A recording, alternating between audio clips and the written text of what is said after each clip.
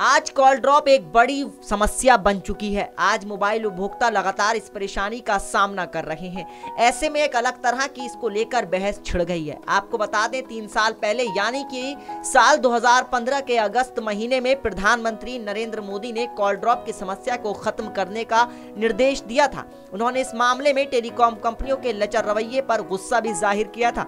लेकिन प्रधानमंत्री के सख्त निर्देश के बावजूद कॉल ड्रॉप की समस्या लगातार जारी है। वहीं दूसरी तरफ़ देश के संचार राज्य मंत्री मनोज सिन्हा का कहना है कि कॉल ड्रॉप दुनिया की आम समस्या है।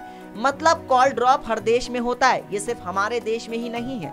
हाल ही में संसद में कॉल ड्रॉप को लेकर पूछे गए एक सवाल के जवाब में उन्होंने ऐसा कहा था। ऐसे में सवाल खड़ा हो रहा है कि क्या प्रधानमंत्री की भी बात को नजरअंदाज किया जा रहा है? आपको बता दें कि कॉल ड्रॉप खत्म करने की सरकार मोबाइल टावर नेटवर्क को बढ़ाने पर ज़ोर दे रही है। इस काम के लिए सरकारी भवनों का इस्तेमाल किया जा रहा है। मोबाइल टावर को टेलीकॉम कंपनियों द्वारा आपस में शेयर करने के लिए सरकार की तरफ़ से तरंग संचार की शुरुआत की गई है। नेक्स्ट नाइन टेक की रिपोर्ट अगर आप भी बनना चाहते हैं एंकर और रिपोर्टर वीडियो एडिटर कैमरामैन या स्क्रिप्ट राइटर तो हमें संपर्क करें।